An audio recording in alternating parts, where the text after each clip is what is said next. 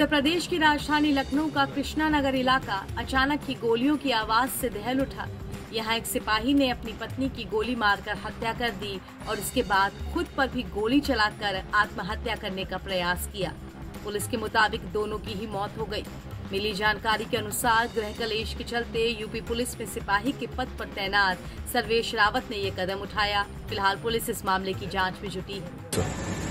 थाना क्षेत्र कृष्णानगर में सूचना प्राप्त हुई थी कि दो व्यक्तियों को गोली लगी है। सूचना प्राप्त होते ही तत्काल थाना पुलिस की पूरी टीम यहाँ पे मौके पे आई। जो सीनियर ऑफिसर्स हैं, वो लोग भी मौके पे आए। मेरे द्वारा भी घटनास्थल का निरीक्षण किया गया है। जो उपलब्ध सूचना है, उसके हिसाब से पत्नी है, जिनका नाम है मीरा, उम्र लगभग होगी अट्ठाईस, तीस साल के आसपास। इनको एक गोली लगी है और जो इनके हस्बैंड हैं, जिनका नाम है सर्वेश, इनको भी गोली लगी है। जो उपलब्ध सूचना है, इसके हिसाब से जो सर्वेश हैं, इन्होंने पहले मीरा को गोली मारी और इसके बाद इन्होंने खुद को गोली मारी है। दोनों की जो बॉडीज हैं, इनको हॉस्पिटल तत्काल जो है, सूचना प्राप्त होते ही लेके गए हैं। वहाँ पे अग्रिम कार्रवाई की जा रही है। इस पूरे प्रकरण में सभी बिंदुओं से, गहनता से जाँच की जा रही है। अग्रिम विधिक अग्रिम विधिक कार्रवाई की जा रही है। सर ये लोग सिपाही बताए जा रहे हैं कांस्टेबल हैं। कौन कौन कांस्टेबल है सर इसमें? देखिए इसमें जो अभी तक प्राप्त सूचना है उसके हिसाब से जो सर्वेश है वो 2011 बैच का कांस्टेबल है और जो महिला है जिनका नाम मीरा है ये पोस्ट ऑफ़िस में बाबू के पद पर कार्यरत है। सर ये कहाँ पर पोस्टेड है अभी?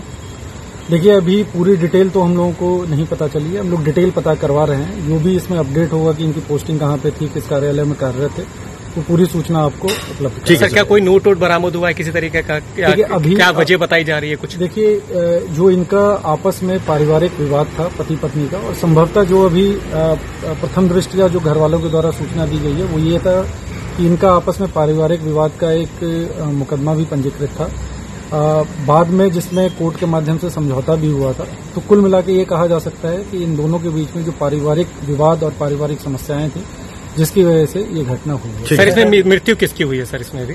देखिए अभी जो पत्नी है मीरा इनकी मृत्यु हो गई है और जो सर्वेश हैं इनको हॉस्पिटल पहुँचाया गया है और लेटेस्ट अपडेट जो है वो डॉक्टर से पता करके सर गोली कहाँ पर मारी है? किसने किस तरीके से? देखिए गोली कहाँ पे लगी है जो पोस्टमार्टम होगा एग्जैक्टली एंट्री वूंड और एग्जिट वूंड का पता जो है पीएम रिपोर्ट में पता चलेगा थैंक यू थैंक उधर इस मामले में मृतका की माँ ने कहा कि हमने सोचा था कि बिटिया रक्षाबंधन पर घर आई है।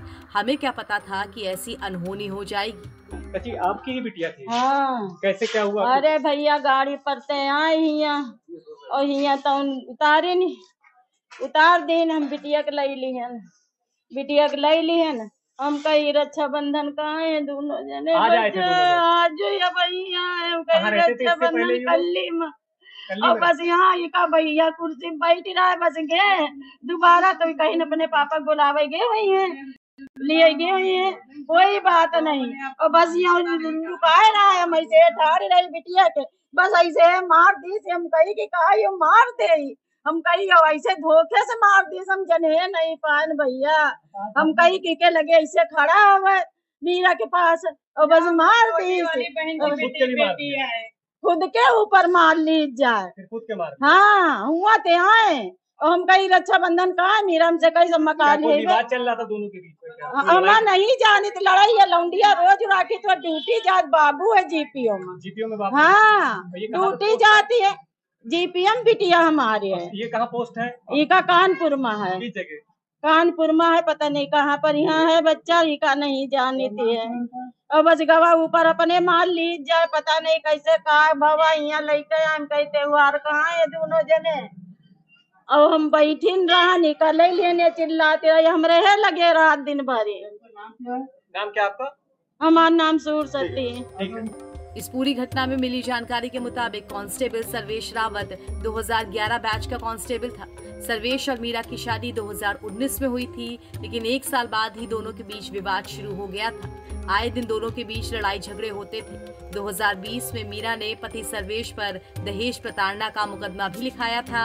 हालाँकि बाद में दोनों का कोर्ट में समझौता हो गया था। एनबीटी ऑनलाइन के लिए राजधानी लखनऊ से अभय सिंह राठौर के साथ ब्यूरो रिपोर्ट।